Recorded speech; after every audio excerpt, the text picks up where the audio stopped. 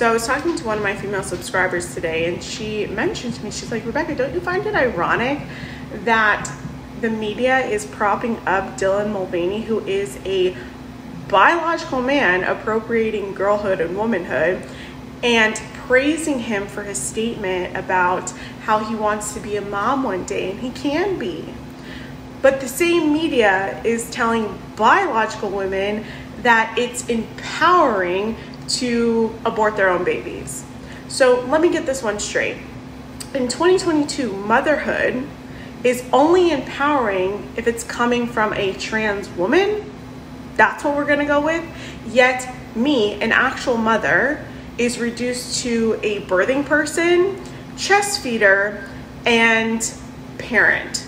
Yep, that's what we're reduced to biological women, biological mothers. That's what we're reduced to.